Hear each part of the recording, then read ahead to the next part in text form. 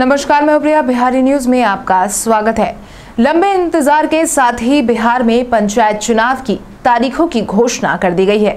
ऐसे में अब सवाल यह है कि आपको कैसे पता चले कि आपके प्रखंड में कब चुनाव का आयोजन होने वाला है?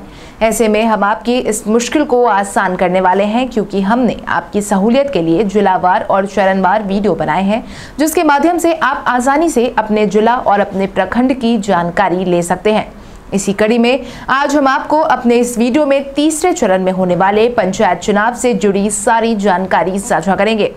राज्य निर्वाचन आयोग की तरफ़ से मिली जानकारी के अनुसार तीसरे चरण का मतदान 8 अक्टूबर को होने वाला है। इस चरण में जिलों की कुल संख्या 35 है, वहीं प्रखंडों की संख्या 50 है। जिसके लिए 10,634 मतदान केंद्रों की संख्या बनाई गई है। वहीं इसको लेकर 6,942 मतदान भवन बनाए जाएँगे। जिसके बाद अब बात आती है नामांकन की।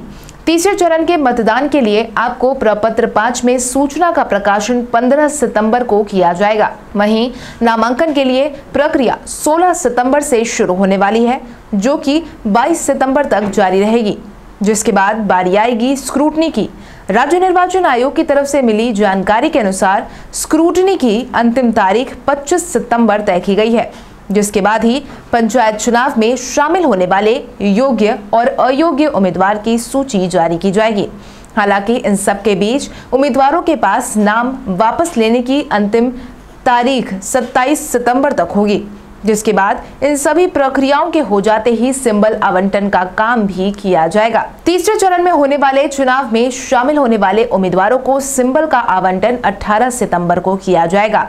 मतदान 8 अक्टूबर को करवाए जाएँगे। वहीं मतगणना 10 और 11 अक्टूबर को करवाई जाएगी। अब बात करेंगे जिलावार प्रखंडों की, जहाँ पर पंचायत चुनाव के तीसरे चरण का आयोजन होने वाला है।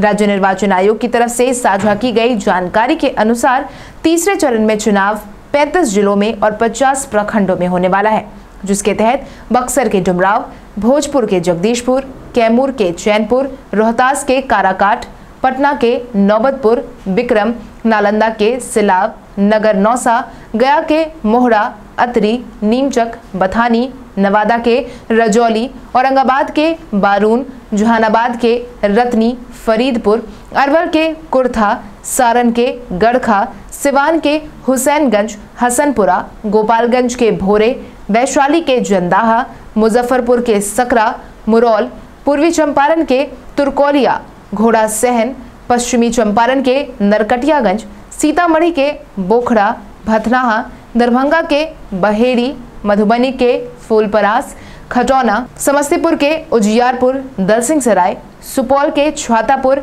सहरसा के पत्थरघट मधेपुरा के गम्हरिया, धेला, पूर्णिया के बी कोठी भवानीपुर, कटिहार के कोढ़ा, अररिया, रानीगंज, लखीसराय के हलसी बेगूसराय के वीरपुर, डंडारी, खगड़िया के गोगरी, मुंगेर के संग्रामपुर, जमुई के जमुई, गिद्धौर, भागलपुर के सनहौला, बांका के रजौन में वोटिंग होगी। आपकी जानकारी के लिए आपको बता दें कि साल 2016 में राज्य के पंचायतों और ग्राम कचहरी के आम चुनाव द्वारा गठित पंचायतों और ग्राम कचहरियों की कार्य अवधि जून 2021 में ही खत्म हो गई है। हालाँकि कोरोना और ईवीएम को लेकर उठे मामले के कारण पंचायत चुनाव का आयोजन समय पर नहीं हो सका था, जिसके बाद ही बिहार पंचायती राज अधिनियम दो हज़ार छह के तहत आने वाले प्रावधानों के आलोक में विघटित पंचायतों और ग्राम कचहरियों के स्थान पर परामर्शी समिति का गठन किया गया था, जिनके पास ही फ़िलहाल पंचायतों की बागडोर है।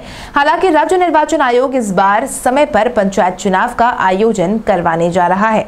इसके साथ ही आज के इस वीडियो में बस इतना ही। तब तक के लिए धन्यवाद।